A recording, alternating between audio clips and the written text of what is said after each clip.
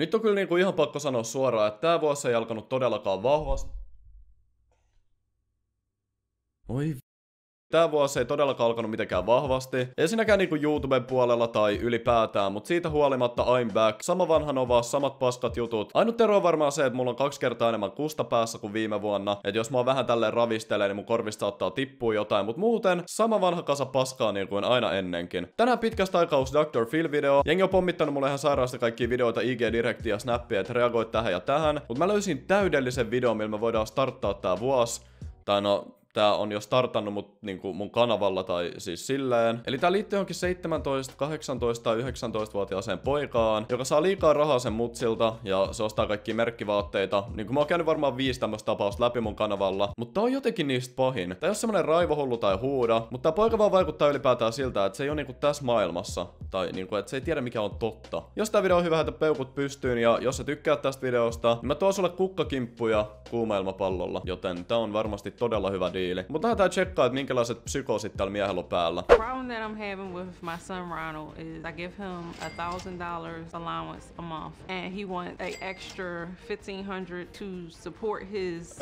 no mitä? Tää poika saa tuhat euroa kuukaudessa, tai niinku viikkorahaa tai jotain, mutta se ei riitä tälle pojalle, vaan se haluaa niinku sen päälle vielä 1500. Eli se haluaa 2,5 tonnia kuukaudessa. Jos mä joskus sain viikkorahaa, se oli joku varmaan 20. Se oli niinku silloin, jos mä olin vaan tehnyt oikeasti jotain se eteen. Niinku silleen, että kukin tyylillään. En mä voi sanoa tähän muuta. And he's a celebrity. He's like, oh, I can get that, and I can get all the attention. Ronald's dream is to be a YouTuber because he thinks the YouTubing is everything. How are you gonna make your own money? by posting videos. You get paid from from YouTube from making videos. Täällä äijällä on oikea asenne. Se mutsi on silleen, että okei, mä en halua enää rahoittaa sun paskasia vaatteita. Millä sä aiot elättää itses? Sitten äijä vaan makaa sohvassa on silleen, että äiti, et sä tiedä. YouTubella tietenkin. Mä postaan videoit YouTubeen ja ne vaan antaa mulle siitä rahaa. Joo, okei, okay, niinku mä teen YouTubea työkseni, mutta se ei vaan ollut silleen, että hmm, mä postaan tästä pari videoa ja mä saan paljon rahaa. Et kyllä se vaatii aika paljon enemmän. Ja muutenkin mun sisältö oli, ainakin okei okay, oli, joskus hyvää, mikä sitten auttoi vähän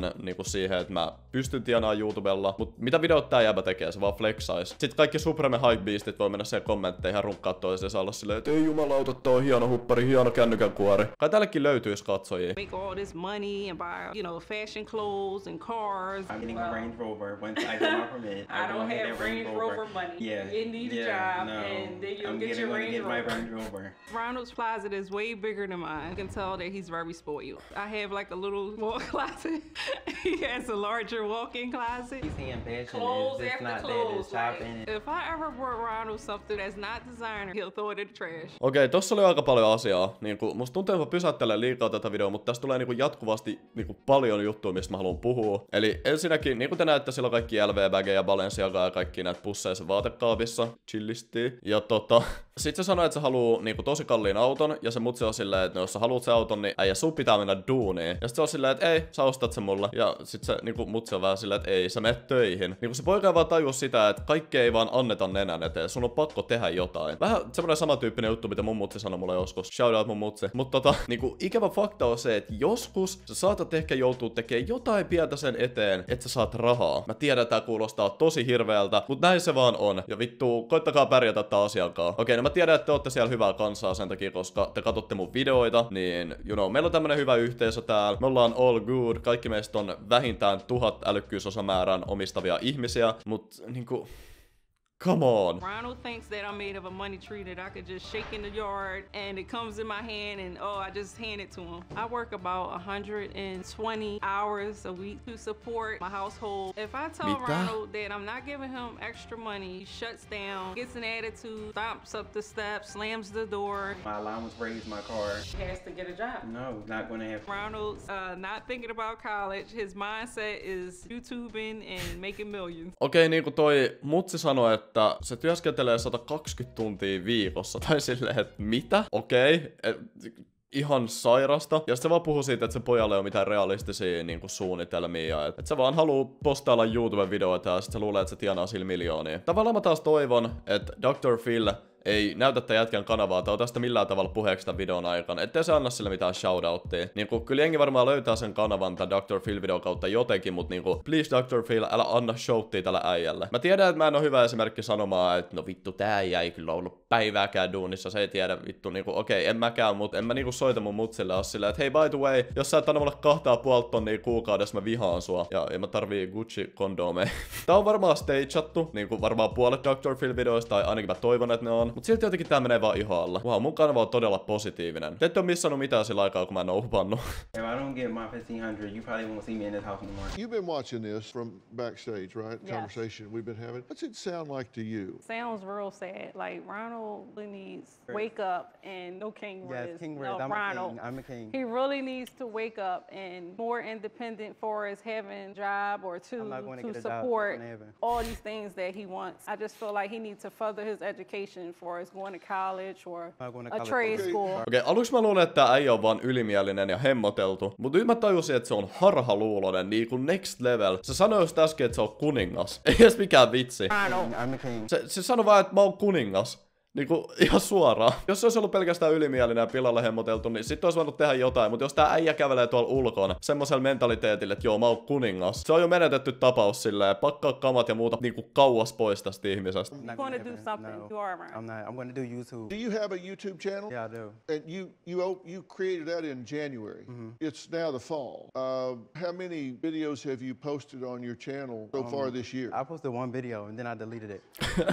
Eikä, tää ei voi olla todellista. So in the entire year, you put up one video and took it down. Tää ei oo silleen, että musta tulee YouTube-tähti ja mä tienaan silmun rahat ja mä tuun tienaan miljoonia, mut sit kun Dr. Phil on silleen, että okei, sulla on ollut vuoden YouTube-kanava. Paljon sä oot postannut videoita sinne? Tää ei oo silleen, että joo mä uppasin yhden videon, mut sit mä poistin sen. Tavallaan pitää antaa respektit, sillä on paljon parempi uppaustahti kuin mulla. Mä koitan vielä hiottaa tätä mun uppaustahtia. Miten se luuli, että tapahtuu, niinku, että uppasko se vaan videon, sit se huomasi, että se ei saa miljoonia sen tilille saman tien. Ja oliko se silleen, että aa okei, okay, että ei tää YouTube toimikaan tälleen, vai mitä niinku tapahtui? Saiko se niin paljon paskaa siihen videoon, mua oikeesti kiinnostaa. He feel as though like the king of the world. Like I am. everything I am. revolves around him. They watching me. I'm the king. This is my show. In Like, it's my show. I I don't mean, care. It's my show. Boo. He's supposed to get the first plate of the house. If we go out somewhere traveling, he has to be in the front seat. It's just like everything is all about Ryan. I think I know what's wrong with him. Yeah. My question is, what's wrong with you? Oh. And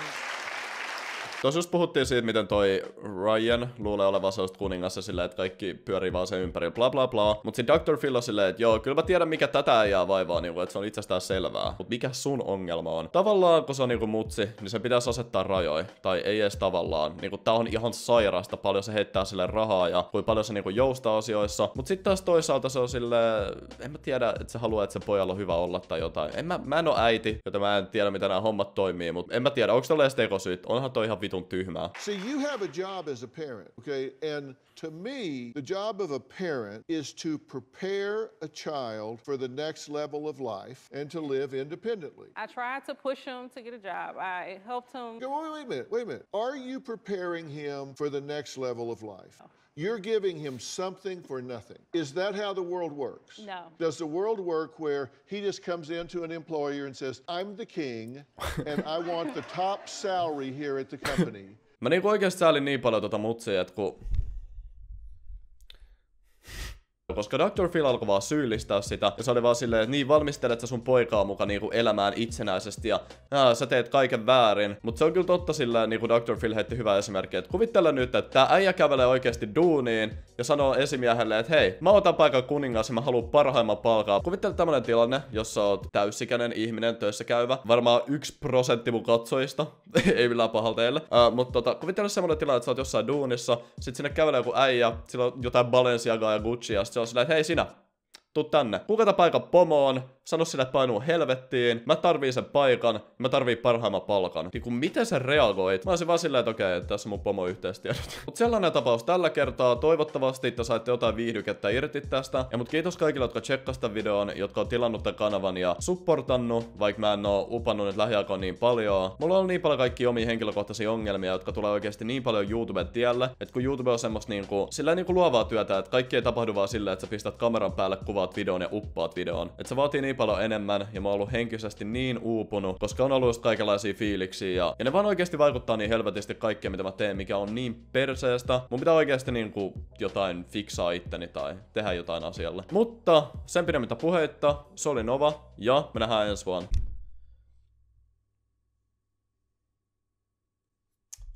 Se oli Nova ja me nähdään seuraavassa videossa. Peace.